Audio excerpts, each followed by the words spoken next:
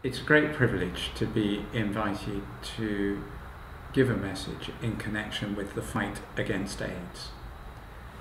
As we all know, the aim is to eliminate AIDS as a threatening global disease by 2030. So much progress has been made in the last 30 years. It's quite extraordinary looking back to the time when this terrible disease first came on the scene.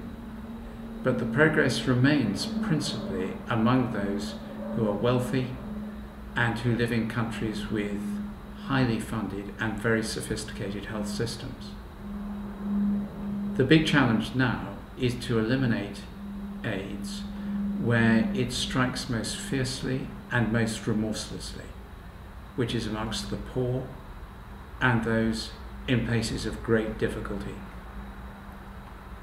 One of the most exciting things about the way we tackle AIDS is that it is most effectively done in communities and particularly across many parts of the world in faith-based communities.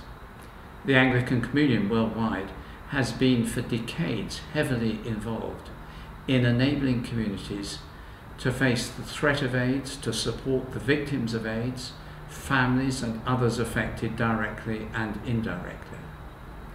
That is where it should be done and how it should be done. The clinical evidence is that it is through community-based initiatives, and the churches are among the best to do it, that AIDS is tackled most efficiently and effectively.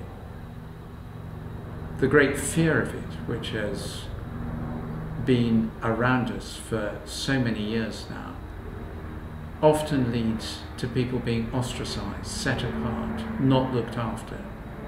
Faith-based communities challenge that ostracization when they see in every single person someone made in the image of God, someone loved by God, and therefore someone who should be loved by each one of us.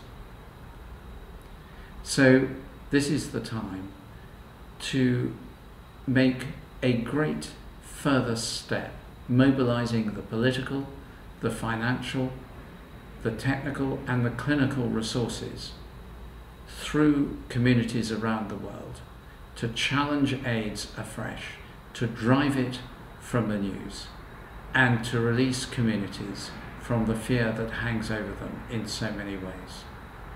What is being done on this is wonderful and those at the centre of the struggle deserve every thanks that we can give and call for our prayers that they may succeed finally.